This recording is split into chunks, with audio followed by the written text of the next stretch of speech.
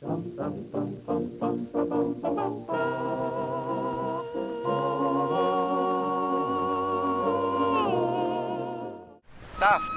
Biyernes, alas dos ng hapon. Parang holiday. Bus lang pala eh. Relax ka lang, Jun. Bus lang talaga, tol.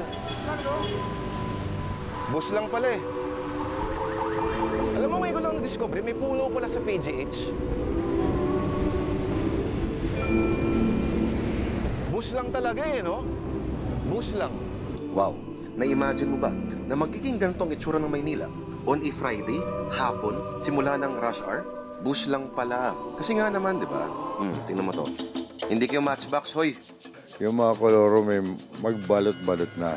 Malaki na nga ang sasakyan, malaki rin ang katakawan at pag nanais yung kumita.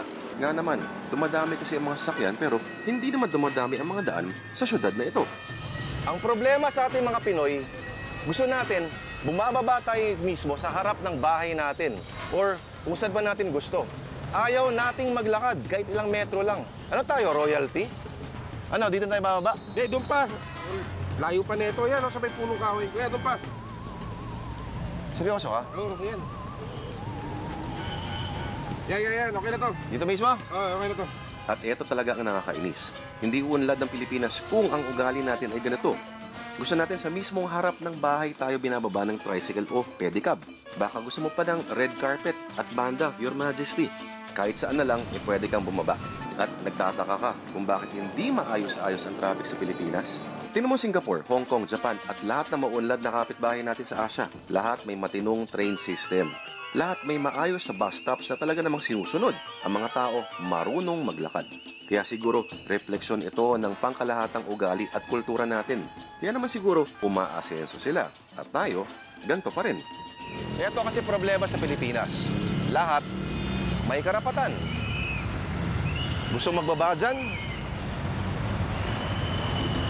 Oo, ang mga to, iniisip nila na may karapatan silang bumaba kahit saan nila gusto. O kaya may karapatan silang sumakay kahit saan niya gusto. Kasi karapatan niyang huwag maglakad kahit mula dito lang hanggang dito. Ang mga driver, may karapatan kumita. Ganon din ang mga operator. Pag pinagbawal mo naman ng mga pedicab, tricycle at kuliglig, eh tinatanggalan mo naman sila ng karapatang maghanap buhay. At tinatanggalan natin karapatan ang kanilang mga kamahalan na ihatid sa harap mismo ng kanilang mga palasyo. Ay, Diyos ko. Bus talaga. Bus lang naman pala problema eh. Eh, alam mo, paano kaya kung sagarin na natin? Sagarin na natin. Tanggalin na rin natin ang mga jeep. Dahil bukod sa mausok at mainit, ang Jologs tingan, di ba? May nakita ka bang jeep sa loob ng Bonifacio Global City o Ayala Alabang? Waklas eh. Mukhang tindahan ng scrap metal na umaandar o gumagalaw.